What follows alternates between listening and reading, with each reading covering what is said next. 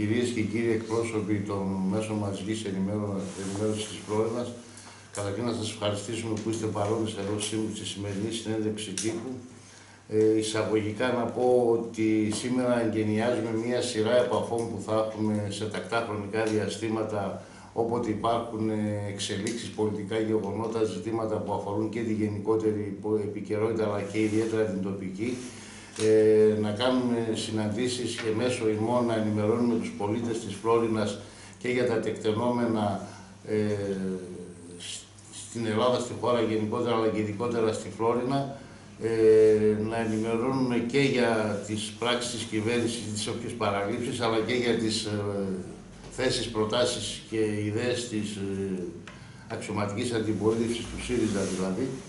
Η βουλευτής θα κάνει μια εισαγωγική ομιλία η οποία φαντάζομαι θα τροφοδοτήσει τη συζήτηση για οποιασδήποτε ερωτήσεις και μετά θα είμαστε στη διάθεσή σας για να απαντηθούν οι όποιες ερωτήσεις, απορίες ή οτιδήποτε νομίζετε. Δεν σκοπεύω να καταχαστώ περισσότερο το χρόνο σας. Δίνω το λόγο στη βουλευτή να την συντρόφισα την Πέτη την Πέρκα ώστε να ξεκινήσει την τοποθέτησή της για να προχωρήσουμε στη συνέντευξη τύπου. Σας ευχαριστώ καταρχήν και στη διάθεσή σας για οτιδήποτε θεωρήσετε ότι πρέπει να ρωτήσετε ή να τοποθετηθείτε. Κυρία Συντρόφισσα, να σας καλωσορίσω και εγώ και να σας ευχαριστήσω για την ανταπόκριση στο κάλεσμα.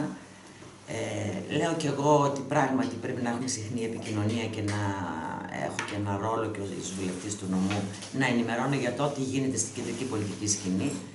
Ε, η σημερινή όμως συνέντευξη τύπου την προκάλεσαν κυρίως γεγονότα που αφορούν τον τόπο μας, είναι τα τοπικά γεγονότα.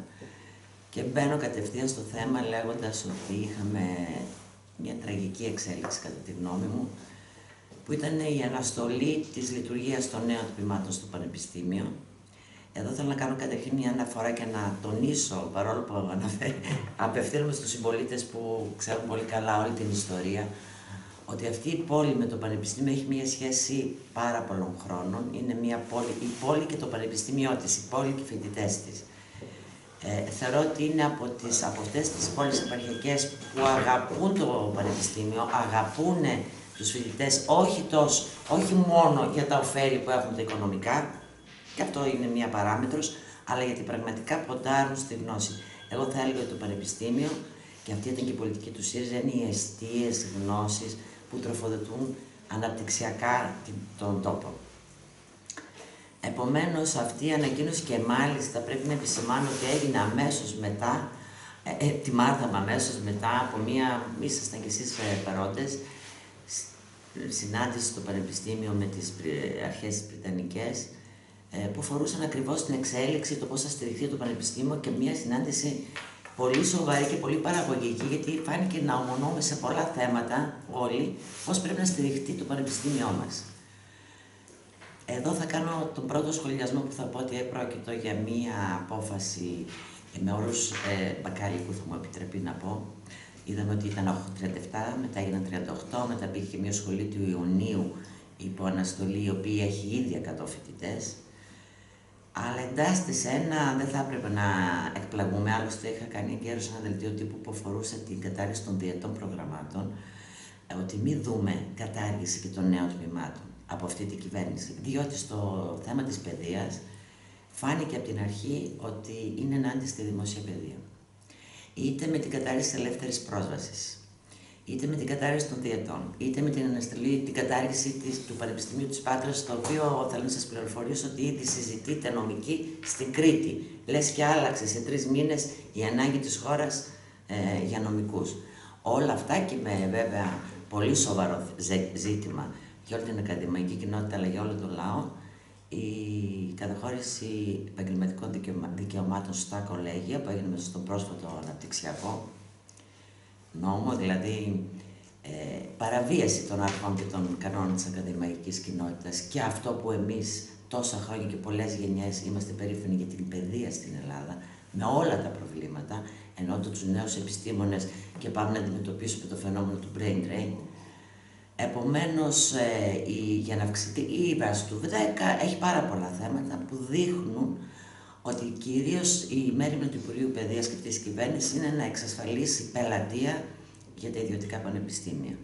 Έχουμε παρακολουθήσει τον ίδιο τον Πρωθυπουργό της χώρας στη Βουλή να περιγράφει με τα χειρότερα, ε, με τις χειρότερες εκφράσεις του τι συμβαίνει στα δημόσια πανεπιστήμια, αγνοώντας βέβαια για το φοβερό επιστημονικό έργο και την παραγωγή επιστημόνων οι οποίοι διαπρέπουν στο εξωτερικό. Τώρα, σε ό,τι αφορά όμως το δικό μας και τις, δε, τις δύο νέες σχολές, ε, το Πανεπιστήμιο ήταν, είναι έτοιμο να τη στηρίξει. Είχαμε αυτή τη διαβεβαίωση. Βεβαίως χρειάζεται ενίσχυση και σε επιστημονικό, σε διδακτικό προσωπικό και αυτό θα έπρεπε να κάνει η νέα κυβέρνηση και σε κτηριακές εγκαταστάσεις, ενεργειακές υποβαθμίσεις. Αυτό άλλωστε σας είπα ήταν το θέμα που συζητήσαμε προχθές στη σύσκεψη και ομονοήσαμε. Δηλώσαμε, άλλοι περισσότερο και άλλοι λιγότερο, οφείλω να το πω, από τη μεριά μου τουλάχιστον δήλωσε ότι θα είμαστε δίπλα να στηρίξουμε, να πιέσουμε. Ε, Κλείνοντας λίγο για το θέμα, φαντάζομαι ότι με τις ερωτήσεις μπορώ να πω και κάποια πράγματα παραπάνω. Θέλω να απευθυνθώ κυρίως στους συμπολίτες μου. Θεωρώντας ότι ήδη δεν χρειάζεται και μεγάλη προσπάθεια, γιατί όπως είπα, η πόλη αγαπάει πάρα πολύ το Πανεπιστήμιο, καταλαβαίνει και τον αναπτυξιακό του ρόλο, ότι πρέπει να παρακολουθούμε και να κινητοποιηθούμε και να κινητοποιηθούμε. Πόσο μάλλον ε, σε μια περιοχή που ευνηδιάστηκε ακούγοντας από τον ΟΗΕ, από το βήμα του ΟΗΕ, τον Πρωθυπουργό της χώρας να μιλάει για κλείσιμο των λιγνητικών μονάδων για βίαιη απολιγνητοποίηση. Αυτό και περνάω σε αυτό το θέμα.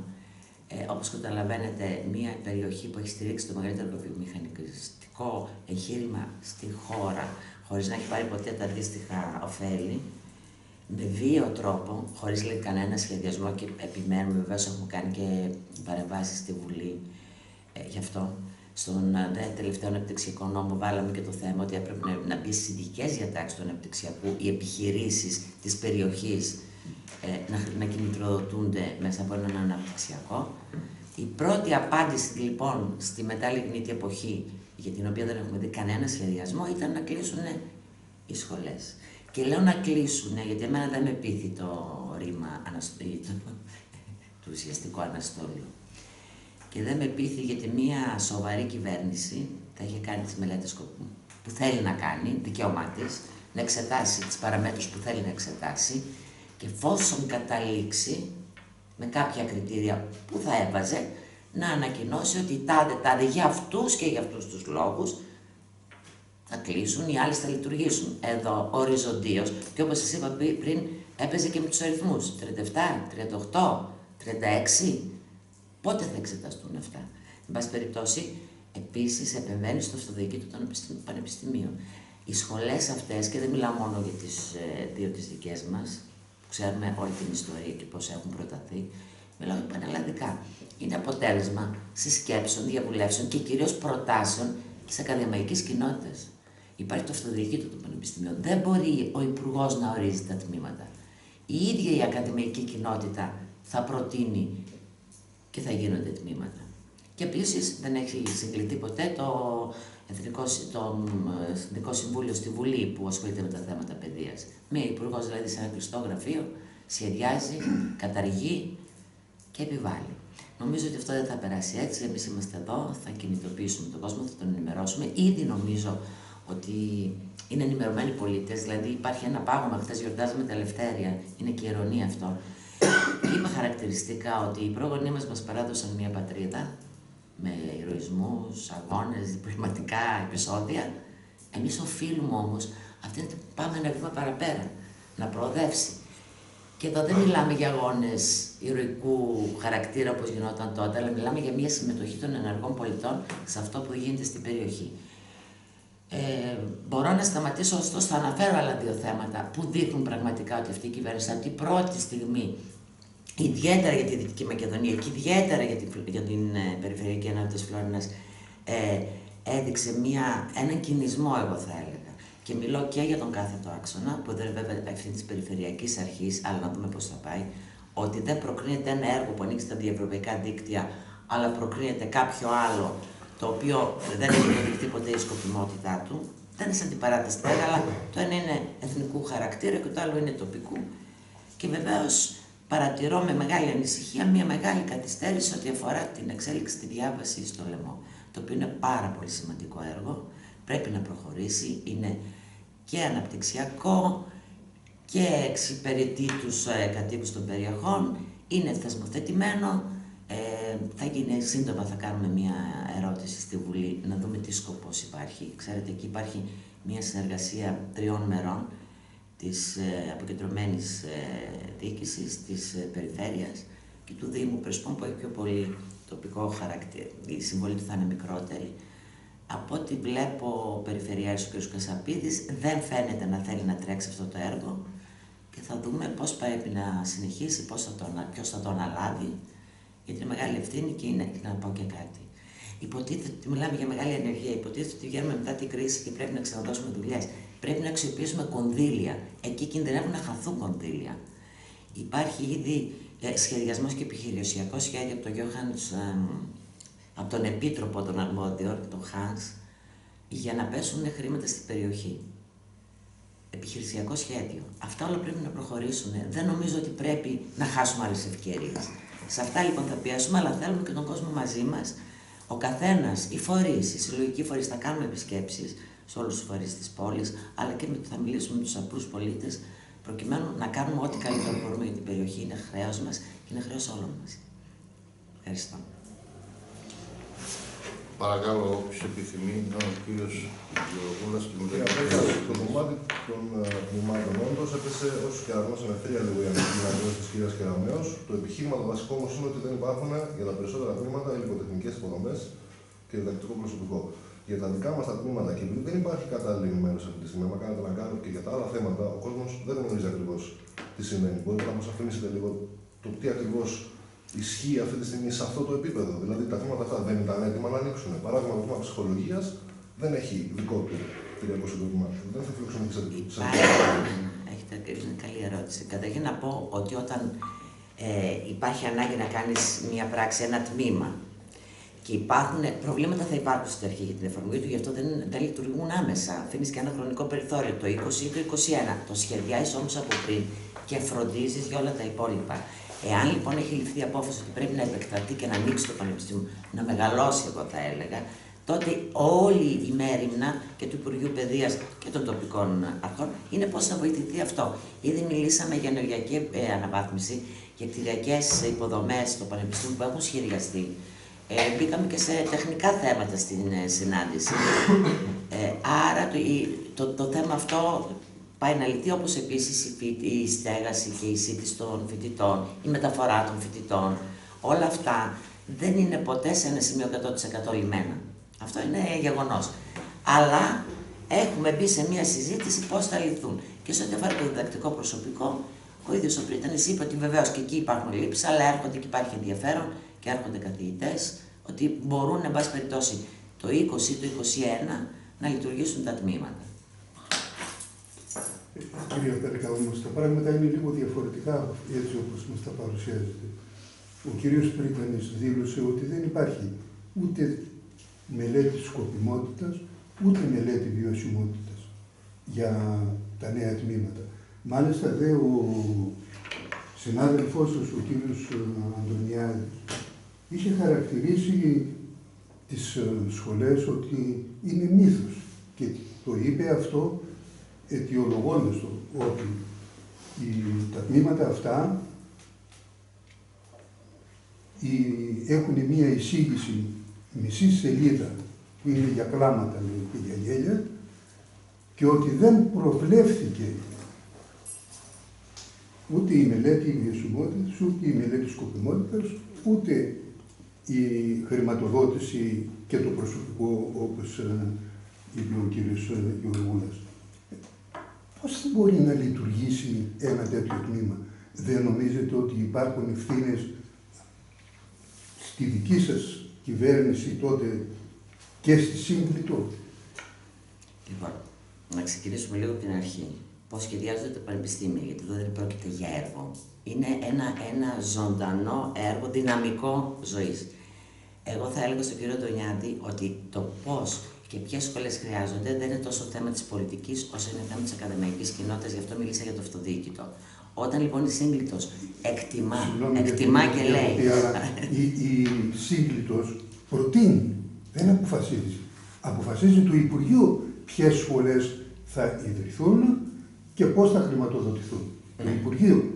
Η σύγκλιτος προτείνει, δεν έχει Εγώ αποφασίσει λέω για ότι την σε- ιδιότητα. Αποφασίζει για το ποιες σχολές θα προτείνει. Από τις σχολές Ναι. αυτές αποφασίζει το Υπουργείο ποια θα λειτουργήσουν. Ναι, αυτό προσπαθώ να πω. Ότι με την προηγούμενη κυβέρνηση είχε προτείνει σύγκλιτο και ήρθε μια κυβέρνηση και ένα Υπουργείο Παιδείας που εκτιμούσε ότι τα πανεπιστήμια πρέπει και να αποκεντρωθούν. Είναι πολύ σημαντικό αυτό για την περι- περιφερειακή ανισότητα. Να στηριχτούν και να γίνουν νέα τμήματα όπου ταιριάζουν. Παράδειγμα, δεν μπορεί να έχεις πολύ καλό τεχνό σε αυτή την πόλη που είναι παραδοσιακά μια πόλη καλλιτεχνών κτλ. με ένα τμήμα. Δεν είναι δύσκολο να το καταλάβουν αυτό. Και έρχεται η ίδια ακαδημαϊκή κοινότητα και το προτείνει. Και έρχεται το Υπουργείο Παιδείας της κυβέρνησης του ΣΥΡΙΖΑ και λέει βεβαίως πρέπει να γίνει και το τμήμα του κινηματογράφου. Για να έχει δύο τμήματα τη σχολή. Και πώς θα γίνει αυτό, και χρήματα είχαν εξασφαλιστεί; Και σχεδιασμός υπήρχε; Και είχε βγει τότε ο, ο κ. Γαβρόπουλο, είχε βγει, είχε ενημερώσει για όλα αυτά. Τώρα εκ των υστέρων να πούμε ότι μια υπουργός παιδείας, η οποία δεν ξέρει περίπου που πέφτει η Φλόρινα, τι ανάγκες έχει και τι σχέση έχει με το Πανεπιστήμιο.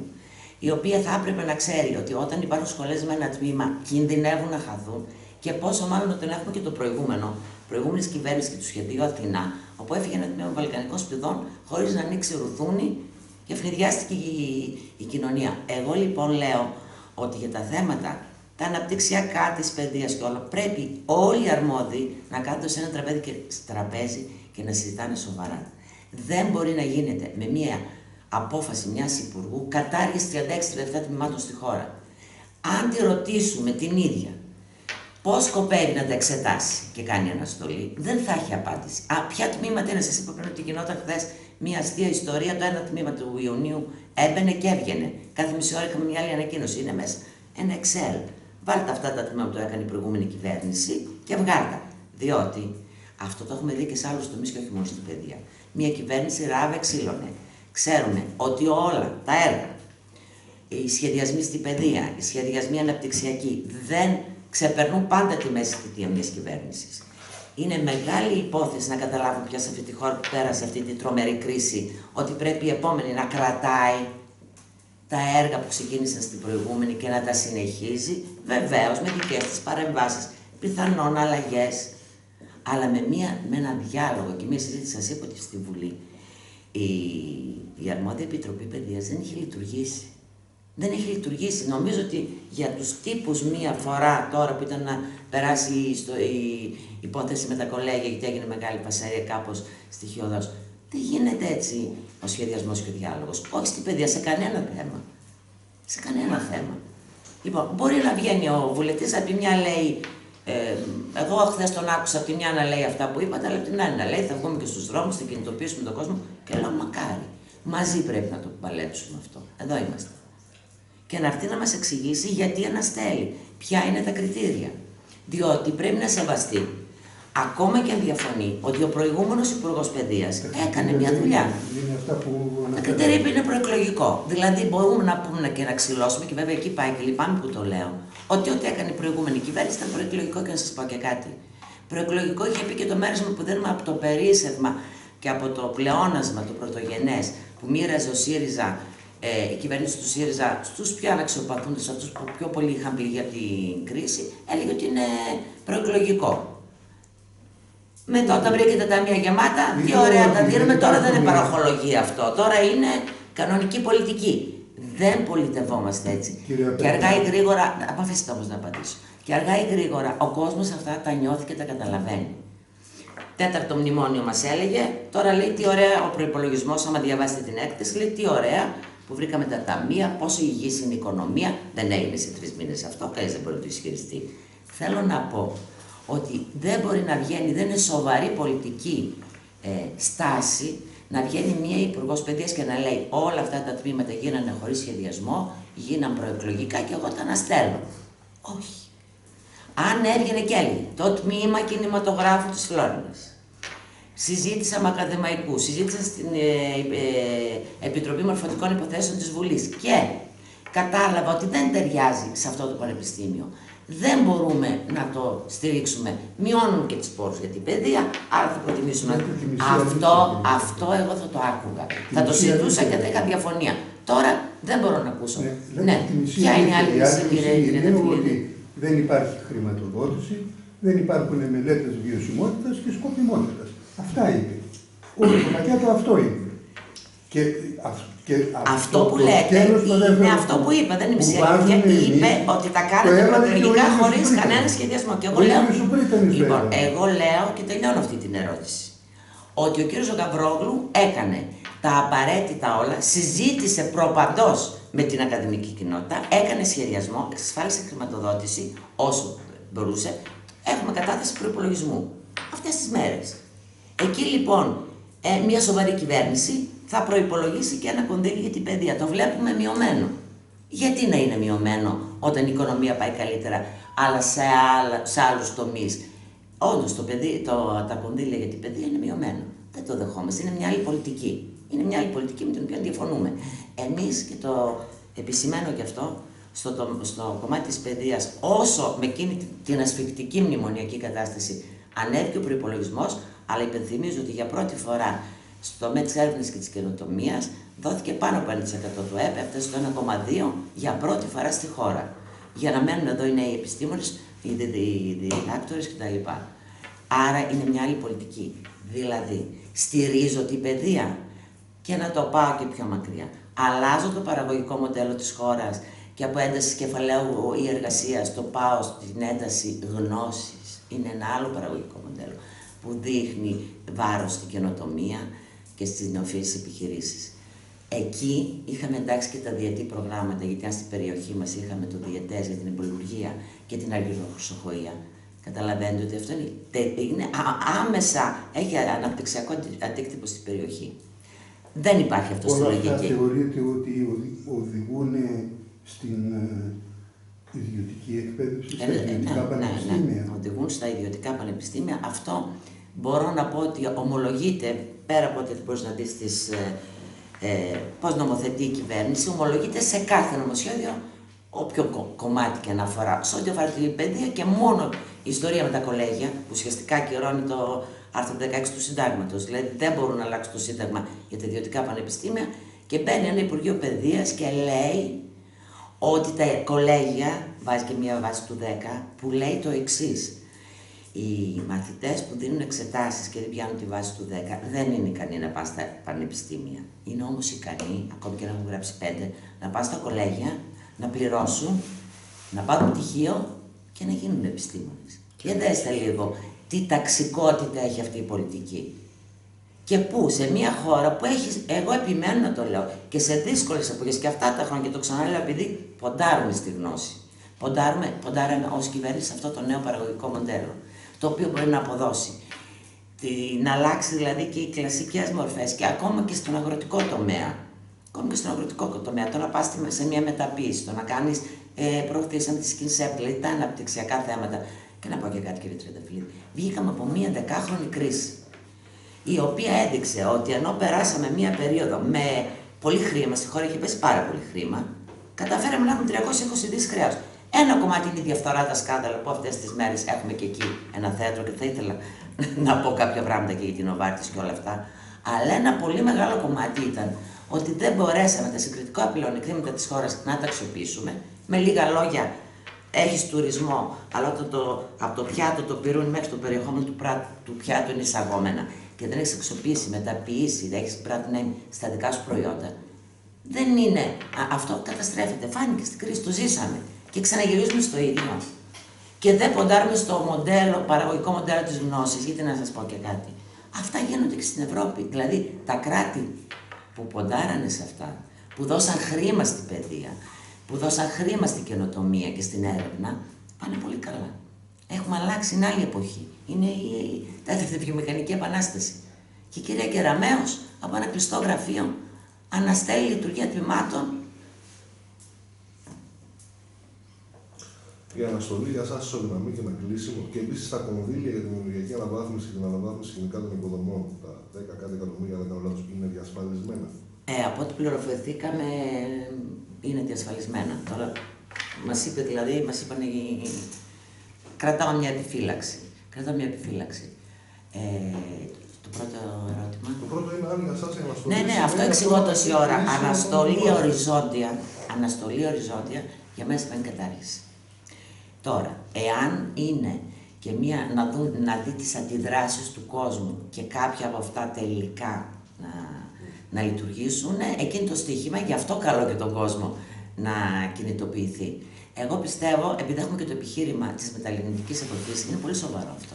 Είναι πολύ σοβαρό. Δηλαδή, βγαίνει ο Πρωθυπουργός και λέει το 28 κλείνει το εργοστάσια. Μάλιστα. Πού είναι το σχέδιό σας, Ποιο σχέδιο έχουν, πώς θα κλείσουν. Και ένα κομμάτι είναι πώς θα έχει ενεργειακή ασφάλεια η χώρα και πώς θα Αλλά ένα μεγάλο κομμάτι είναι σε μια περιοχή που έχει βασιστεί το 45% του, του ΑΕΠ εδώ στην, ε, στους Λιγνίτες. Και όχι μόνο δεν κάνει ένα, έστω τύπης, ένα έστω επιχάρτου σχεδιασμό, δεν έχω ακούσει τίποτα, έρχεται και κλείνει και τα πανεπιστήμια. Δηλαδή, πιστεύω ότι αν κινητοποιηθεί ο κόσμος, ειδικά εμείς, εγώ ελπίζω σε όλη τη χώρα, να τα κερδίσουμε. Το πιστεύω πραγματικά. Είναι πολύ λελογισμένο όλο αυτό και η γεωπολική σχολή και η σχολή καλότεχνων. Δεν ήταν τίποτα υπερβολικό. Κύριε Πέργα, διαβάσαμε την ε, επιστολή που στείλατε στον ε, Περιφερειάρχη και το Περιφερειακό Συμβούλιο Δυτικής Μακεδονίας. Ε,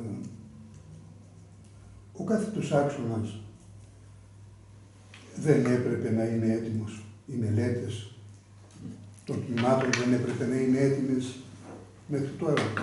Δεν έπρεπε η προηγούμενη Περιφερειακή Αρχή, η κυβέρνηση, του Υπουργείου Υποδομών, να φροντίσει έτσι ώστε να είναι έτοιμες οι μελέτες αφού είναι ένα διευρωπαϊκό δίκτυο και να προηγηθεί τις ε, σύραγγες της Ιταλίας που είναι ένα ναι, τυφλό ναι, έργο. Ναι, ναι, το, καταρχήν είπα και για το σύραγγα και τη σχέση του ενός έργου με το άλλο. Ένας είναι χαρακτηρισμένο διευρωπαϊκό και χαρακτηρισμένο. Δηλαδή, Χαρακτηρισμένο, έχει ναι, η κλειστό. κεντρική Άρα, πολιτική χρηματοδο... σκηνή άρα, το έχει χρη- άρα, άρα χαρακτηρισμένο. χρηματοδοτείται, είναι πολύ σημαντικό αυτό. Γιατί ας ξεκινήσω από αυτό. Γιατί ξέρετε, λέει περί- το Περιφερειακό Συμβούλιο ψηφίζει και λέει θα κάνουμε το, ε- αυτό το έργο ή το άλλο. Ό,τι και να πει. Όταν πάει στην Ευρωπαϊκή Επιτροπή να χρηματοδοτηθεί, δεν υπάρχει περίπτωση να, να χρηματοδοτήσει έργο τοπικό, το οποίο δεν έχει μελέτη σκοπιμότητας ή δεν χρειαζόταν τότε όταν μελετήθηκε η σφαίρα της κλεισούρα. Νομίζω ότι το 2011 Το 10 άρχισε, ξεκίνησε. άρχισε να απαιτείται, οπότε αυτό δεν είχε. Αλλά τώρα θα μπει. Αν πάει δηλαδή αυτό το έργο να μπει, ε, να γίνει μελέτη σκοπιμότητας, δεν βγαίνει. Κατά τη γνώμη μου και μιλάω ως μηχανικός τώρα, όχι ως πολιτικός. Αλλά σε κάθε περίπτωση ο κάθετος άξονας, Ναι, θα όπως φωνάζουμε. και να έχει, όπως και να έχει, πρέπει να γίνει. Όπως και να έχει. Να πω εγώ ότι έχει καθυστέρηση, εγώ θα πω ότι γενικώ με τα έργα στη χώρα δεν τα έχουμε πάει καλά. Και γιατί δεν τα έχουμε πάει καλά, Γιατί δεν έχουμε φροντίσει. Αυτό είναι πολύ παλιό και προσπαθήσαμε σε αυτή την κυβέρνηση γίναν κάποια πράγματα όπως γίνανε οι μεγάλες συμβάσεις παραχώρησης, οι οποίες ήταν κολλημένες χρόνια.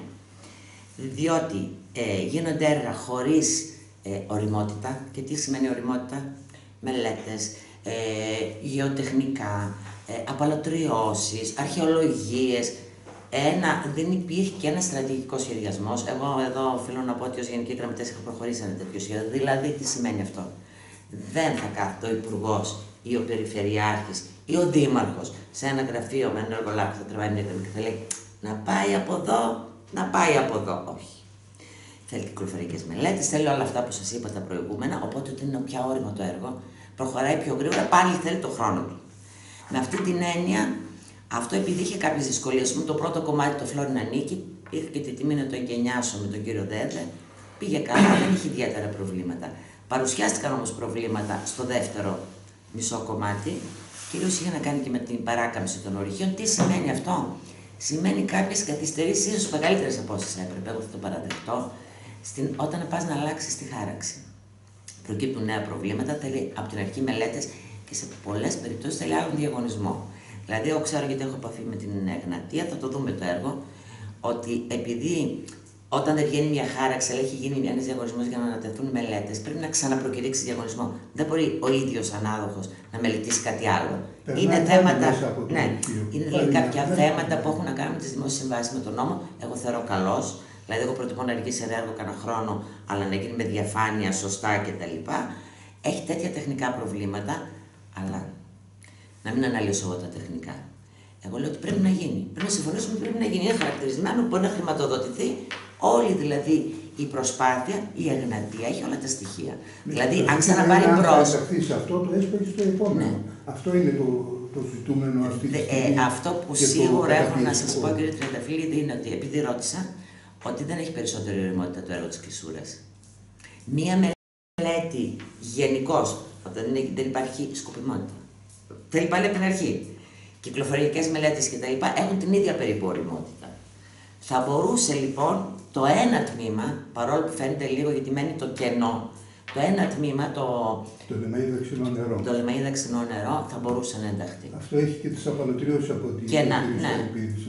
Ναι, επειδή είναι Πολύ μεγάλη, ωραία, μεγάλη πολύ ιστορία ωραία, παλαιοτριώσει. εύκολα. Εγώ διατίθεμαι και τώρα το λέω πραγματικά, επειδή έχω μια εμπειρία από, κάποια, από τα έργα και ως επαγγελματική ενασχόληση, να βοηθήσουμε όλοι.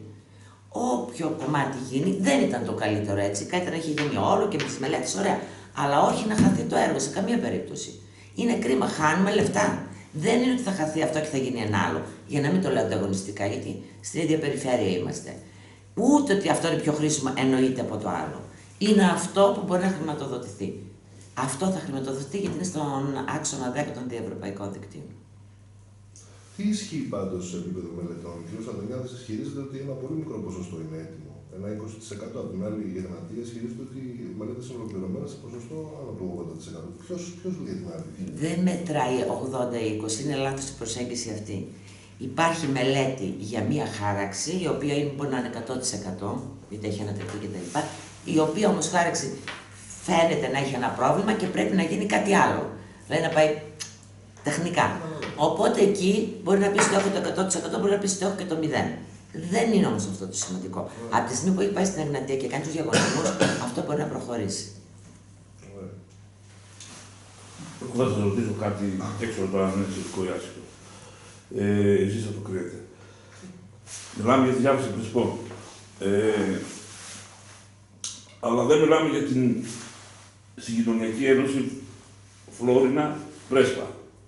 Ο δρόμος αυτός θεωρείται απαρχαιωμένος, δεν έχει κάνει κανένας καμία κίνηση, να το, έστω να το διαπλατεί, να, να φέρει δηλαδή, να, να το δώσει στην κυκλοφορία πιο άνετα.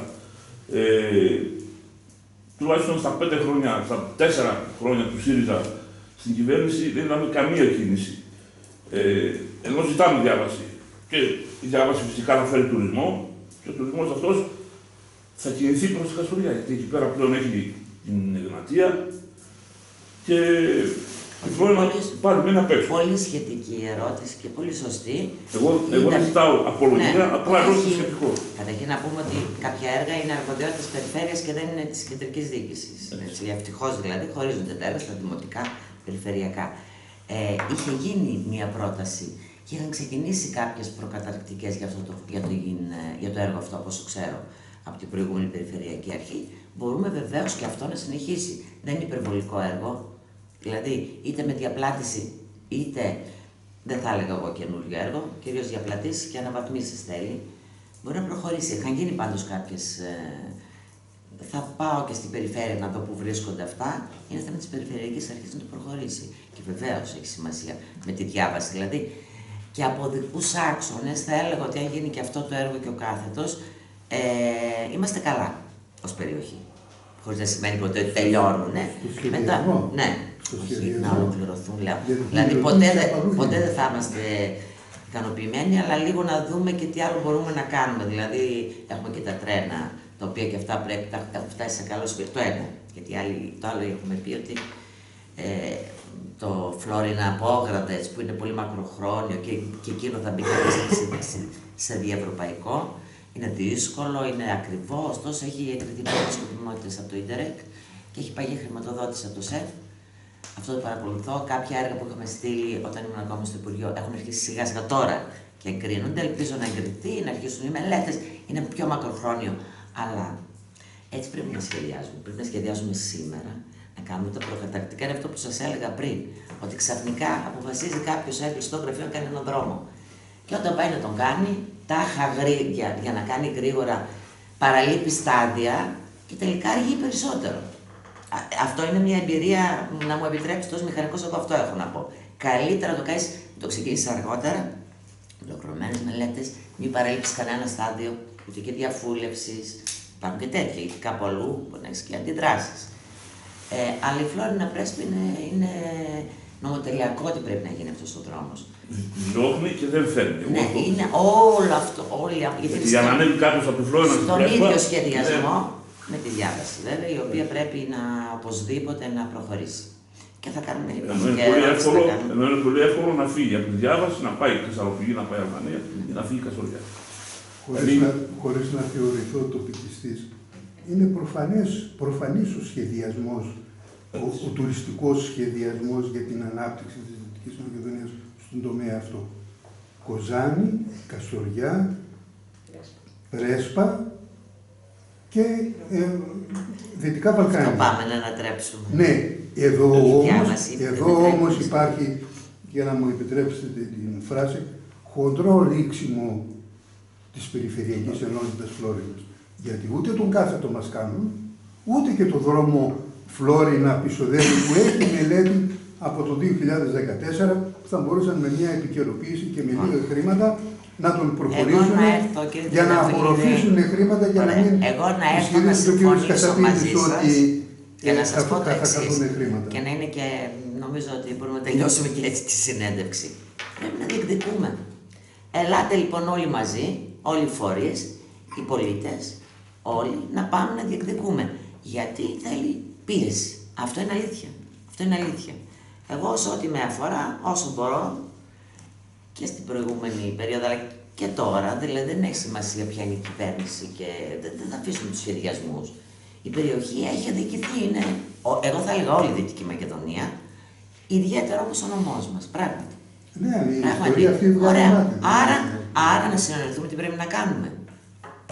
Να ανοίγουμε κουβέντες, να έρχεται ο κόσμος, να κάνουμε κάτω διαβήματα. Δηλαδή δεν αρκεί ε, η ερώτηση του βουλευτή, είναι και- σίγουρα. Δεν αρκεί και στήριξη και φορείς να συνεννοηθούμε και μεταξύ μας. Γιατί μερικά πράγματα. Αυτό σημαίνει Ό,τι ότι αφορά τα πρέπει να τοπικά. είμαστε εδώ συχνά πυκνά. Βεβαίως, να βρίσκουμε εδώ συχνά πυκνά, αλλά πρέπει να βρίσκουμε και κάτω. Γιατί όταν είμαι εδώ, αφήνω κενό κάτω. Εντάξει, το έχω ισορροπήσει. Τώρα είμαι αρκετές μέρες και θα μείνω κι άλλο. Ε, σημασία έχει να έχω επικοινωνία και, να... και δεν είναι θέμα ενός ατόμου αυτό ποτέ. Ο βουλευτής έχει μια συγκεκριμένη δουλειά, αλλά και εδώ όλο το υπόλοιπο πρέπει να δουλεύει, να συνεργάζεται και να έρχεται και επεξεργασμένε προτάσεις. Τώρα με Αυτό ευκαιρία είναι πολύ θέλω σοβαρό. Να κάνω μια ερώτηση εκτός αυτών. Ε, ο ΣΥΡΙΖΑ έχει ανοίξει τις πόρτες του με στόχο να διπλασιάσει τα μέλη του ίσως και παραπάνω. Ε, δεν φοβάστε ότι αυτό μπορεί να δημιουργήσει μια αλλίωση στα βασικά χαρακτηριστικά του ΣΥΡΙΖΑ. Όχι. Όχι, το λέω ευθέως. Διότι εγώ είδα μια ολόκληρη κοινωνία έκανε εκλογές, ας πούμε εδώ, να, να στηρίζει το ΣΥΡΙΖΑ με, αυ- με αυτή την πολιτική. Εμείς ό,τι έχουμε πει, το πρόγραμμά μας είναι γνωστό και να είναι άνθρωποι ε, οι οποίοι μπορεί να έχουν άλλη καταγωγή πολιτική ή να μην είχαν και καμία ανάμειξη. Το θεωρώ πολύ υγιές, όλο αυτό μαζί, να καθόμαστε σε ένα τραπέζι να συζητάμε. Ε, θεωρώ ότι η συλλογικότητα, γιατί βεβαίως υπάρχουν φαινόμενα, εντάξει, να μην τα αναλύσουμε. Όταν λειτουργεί λοιπόν η συλλογικότητα, απομονώνονται και μένει, εγώ θα έλεγα, η ουσία και ο κοινός στόχος. Ε, όχι, δεν φοβόμαστε. Δεν φοβόμαστε, γι' αυτό και κάνουμε τη διεύρυνση και καλούμε και όλους τους πολίτες να έρθουν να γραφτούν στο ΣΥΡΙΖΑ. Υπάρχει και ηλεκτρονική πλατφόρμα, υπάρχουν και τα γραφεία εδώ. Είναι πάρα πολύ ωραία η επικοινωνία. Είτε να πω και κάτι άλλο. Δεν είναι πολύ άδικο ένας άνθρωπος να ψηφίζει ΣΥΡΙΖΑ μια φορά, να ξαναψηφίζει, να ξαναψηφίζει και να μην συμμετέχει ποτέ σε μια διαδικασία να πει την άποψή του, να συνδιαμορφώσει την πολιτική. Να ήταν ε, εδώ που είμαστε στα γραφεία, να έρθει κόσμος που δεν είναι στο ΣΥΡΙΖΑ και να πει και την άποψή του για το πανεπιστήμιο, να, μια αντίρρηση, να τη συζητήσουμε, να συνδιαμορφώσουμε. Αυτό είναι δημοκρατικό, είναι συλλογικό, συντροφικό και πολύ παραγωγικό. Κανένας άνθρωπος και καμία ομάδα μόνη της δεν έχει την ικανότητα να παράξει μια πραγματική πολιτική γραμμή που να κουμπά την κοινωνία, όσο αν είναι αυτό ανοιχτό. Και η ιστορία το έχει αποδείξει αυτό. Τα κόμματα τα που είναι πολύ ανοιχτά, Δεν συλλογικά πάρουμε- και δουλεύουν όμως οι οργανώσεις, Έχουν πάει πολύ Αν καλά. πάρουμε παράδειγμα του Πασόκ ε, που ήταν κρατεό και άνοιξε τις πόρτες του το 89, είδαμε ότι διαλύθηκε στην ουσία. Όταν τις έκλεισε, ιδεολογικά Και δεν- άλλαξε την πολιτική του γραμμή. Υπο- Αυτό έγινε. Ε, ε, αυτό έγινε. Εμείς λέμε λοιπόν ότι η πολιτική μας γραμμή είναι καθαρή, είναι αυτή, θα συνεχίσουμε και θέλουμε να την εμπλουτίζουμε με- από την κοινωνία. Εκπροσωπούμε τους πολλούς, θέλουμε τη γνώμη τους και τη συμμετοχή τους. Συντρόφισσα βουλευτή, αν μου επιτρέπει, επειδή Βεβαίως. μια και κουβέντα περιστάθηκε τελευταία γύρω από το ΣΥΡΙΖΑ. Ο ΣΥΡΙΖΑ όχι μόνο δεν φοβάται αυτό που υπενηχθήκατε, κύριε Τριανταφυλλίδη, αλλά το επιζητεί κιόλας. Δεν μπορεί ένα κόμμα σύγχρονο ε, το οποίο επιθυμεί να κυβερνήσει να είναι φοβικό κόμμα. Ίσα ίσα που θα ήταν καταδικασμένος ο ΣΥΡΙΖΑ να αποτύχει αν παρέμεινε φοβικό και μικρό κόμμα. Άλλωστε το εγχείρημα είναι καταδικασμένο να πετύχει γιατί δεν είναι ζήτημα είναι επιλογή του Προέδρου ή των στελεχών του ΣΥΡΙΖΑ, αλλά είναι εντολή πλέον της κοινωνίας της ίδιας, η οποία σε απανοτές εκλογικές μάχες και διαδικασίες έδωσε εντολή στο ΣΥΡΙΖΑ ουσιαστικά να ταυτιστεί με καταρχήν να είναι ο φορέας ο οποίος θα καλύπτει το πολιτικό κενό της κεντροαριστεράς κα- ε, με βάση τα αποτελέσματα καθορίζοντάς τον και θέτοντάς του στη θέση της πολιτικά ηγεμονικής, μην παρεξηγηθεί ο όρος ηγεμονικής δύναμης στον χώρο της κεντροαριστεράς και ταυτόχρονα να είναι το κόμμα εκείνο το οποίο θα, θα, ε, πέρα από το γεγονός ότι θα καλύψει το πολιτικό κενό να αντιστοιχίσει τον κοινωνικό, αυτό που είπε προηγούμενα συντρόφισσα, να αντιστοιχίσει τον κοινωνικό ΣΥΡΙΖΑ με τον πολιτικό ΣΥΡΙΖΑ. Γιατί θα ήταν αν συνεχιστεί το, η σημερινή κατάσταση θα ήταν παραδοξολογία. Δηλαδή ένα κόμμα το οποίο έχει 30%-32% εκλογική βάση, ή ο κομματικός του μηχανισμός να είναι σε αναντιστοιχεία με την εκλογική του δύναμη. Δεν, φο- δεν φοβόμαστε καθόλου, κοιτάξτε να δείτε, ο ΣΥΡΙΖΑ δεν είναι το διεθνιστικό κόμμα. Δεν μιλάω εγώ για φοβικά σύμφωνα. Αλλά- Εγώ λέω το εξής, ότι Δεν φοβόμαστε. αυτή τη στιγμή ανοίγει ο ΣΥΡΙΖΑ. Επειδή επικαλεστήκατε το παράδειγμα του Ναι, ναι, Πασόκ, του Πασόκ, ναι, ναι, ναι, είναι κλασικό. Ω, να σας πω Α- όμως. α- όταν ανοίγεις αυτή τη στιγμή στην κοινωνία, χωρίς το να κάνεις μια εσωκομματική, εσωτερικά ιδεολογική δουλειά, μοιραία θα διαφορθείς. όχι, δια- διαφωνώ μαζί σας, ε, Α, και να το ιδεολογική. κλείσουμε με αυτό. Ναι. ιδεο- Κάτι. Διότι οι Ιδεολογική και αποφάσεις, πολιτική. οι αποφάσεις θα παίρνονται από τα μέλη, τα οποία ενδεχομένως δεν θα έχουν την ιδεολογική συγκρότηση που έχει ο ΣΥΡΙΖΑ. Τι είναι ο ΣΥΡΙΖΑ ένας είναι. Αυτό που έχει ο ΣΥΡΙΖΑ. Ο Το ΣΥΡΙΖΑ ήδη αυτό το αποτελείται- συλλογικό που υπάρχει αυτή Να τη σας πω, στιγμή. ο ΣΥΡΙΖΑ ήδη είναι ένα κόμμα με πολλούς διαφορετικούς ανθρώπους. Μικρό, ως κομματική βάση. Παίρνουν αποφάσεις. Ναι, πώς; Δεν έχουν όλοι, δηλαδή, του ίδιου επίπεδου ιδεολογική συγκρότηση να πω. Αλλά ένα κόμμα λειτουργεί και ως με καθοδήγηση και παίρνοντας από τα κάτω προς τα πάνω την πολιτική και έτσι συνδιαμορφώνεται μια συλλογική ιδεολογική συνείδηση. Ε, θέλω να πω ότι ένας άνθρωπος που σήμερα είναι στην κοινωνία και ψηφίζει διαχρονικά ΣΥΡΙΖΑ και παρακολουθεί και έχει άποψη και, και συμμετέχει και διαβάζει, δεν είναι Είναι σε άλλο, διαφορετικό με το σε μέρος. άλλο, σε άλλο ιδεολογικό, Το μέρος έχει άλλες ιδεολογική ευθύνες και κατεύθυνση υποχρεώσεις. από, από ένα μέρος δε και καλά. Δεν, εγώ δεν συμφωνώ σε αυτό. Να σας Εγώ έχω δει ανθρώπους από την κοινωνία να κάνουμε πολιτική και ιδεολογική κουβέντα και να είναι καλύτεροι από μένα. Είναι οι ελάχιστοι. Λοιπόν, ε, αν δεν έχετε κάτι άλλο να ρωτήσετε, να σας ευχαριστήσω για την παρουσία σας εδώ, να σας υπενθυμίσω αυτό που είπα και εισαγωγικά, ότι σε τακτά χρονικά διαστήματα θα επαναλαμβάνουμε ε, συνεντεύξεις, οπότε εκτιμούμε ότι υπάρχει λόγος να συμβαίνει αυτό.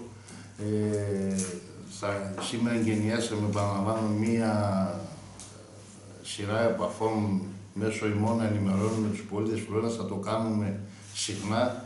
Σας ευχαριστούμε πολύ που είστε εδώ ε, και θα τα ξαναπούμε σύντομα πιστεύω. Να είστε καλά. Ευχαριστούμε.